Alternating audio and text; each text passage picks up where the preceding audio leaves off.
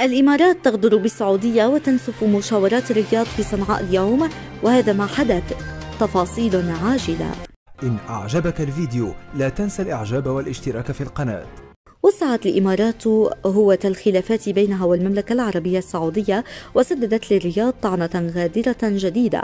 بنسفها مشاورات الرياض الجارية بين أعضاء مجلس القيادة الرئاسي بشأن السلام والقضية الجنوبية وتفجير قنبلتين على طاولتها رفضا لتسوية المطروحة للقضية الجنوبية وما يترتب عليها من فقدان أبو ظبي مكاسبها العسكرية والاقتصادية المتحققة لها طوال سنوات الحرب في جنوب البلاد.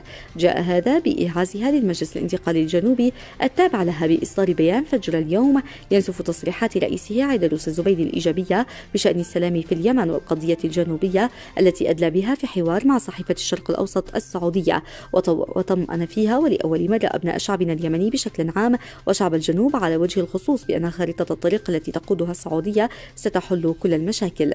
وعمدت هيئة رئاسة المجلس الانتقالي برئاسة القائم بأعمال الزبيدي رئيس المجلس العمومي للمجلس أحمد بن بريك إلى إظهار الزبيدي غير مخول بإبرام أي اتفاق يخص القضية الجنوبية وإعلان رفضها تخصيص إطار تفاوضي خاص بها في إطار المفاوضات السياسية الشاملة للسلام في اليمن.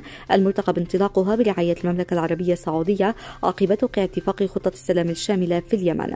وأصدرت هيئة رئاسة المجلس الانتقالي فجر الثلاثاء بيانا يعلن تراجع عن التفاهمات المبرمة مع رئيس المجلس الزبيدي وتصريحاته الإيجابية ويؤكد أن الجنوب لا يسعى للانفصال بل لاستعادة دولته المغتصبة كاملة السيادة. وهو هدف استراتيجي لشعب الجنوب ولن يتراجع عنه تحت أي ظرف وأن حل دولتين هو الطريق الوحيد للحل الشامل وتحقيق السلام والأمن والاستقرار الدائم في المنطقة.